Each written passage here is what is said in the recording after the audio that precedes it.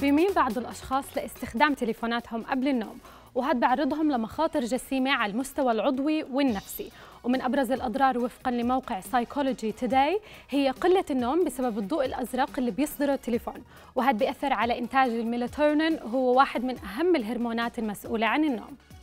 الموقع ذكر كمان إنه تلف الشبكية والاكتئاب هم من الأعراض السلبية اللي بسببها استخدام التليفون قبل النوم. وبين إن الأشعة الكهرومغناطيسية اللي بيصدرها التليفون ممكن تزيد فرص الإصابة بالسرطان عند التعرض لها بصورة مستمرة. إضافة للإصابة بالسمنة لأنه هرمون الجوع ينشط في الساعات المتأخرة من الليل وهذا يؤدي لاستهلاك كميات كبيرة من الأطعمة. ومع انخفاض معدل الأيض في ساعات المساء يقوم الجسم بتخزين الأطعمة على هيئة دهون.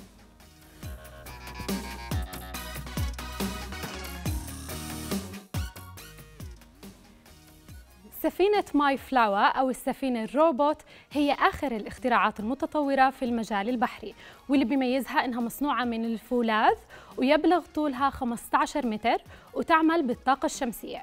وهي السفينة عم تتحضر لتقوم بأول رحلة إلها ورح تعبر فيها المحيط الأطلسي بدون سائق يتحكم فيها.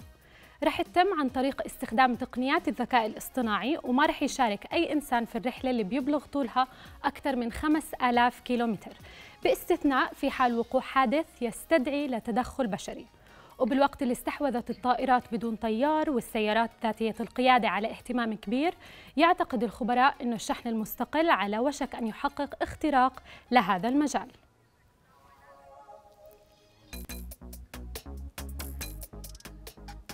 وبنكمل أخبارنا من تجربة لشركة فرنسية أثارت الجدل ونالت إعجاب كثير من الأشخاص حول العالم بعد ما قدرت تصنع طائرات بتشبه في شكلها الخارجي المنطاد وقادرة على نقل وإنزال البضائع بدون ما تسبب أي أضرار للبيئة وفقا لموقع Business Insider ووضحت الشركة القائمة على المشروع إنها صممت منتجها ليكون صديق للبيئة.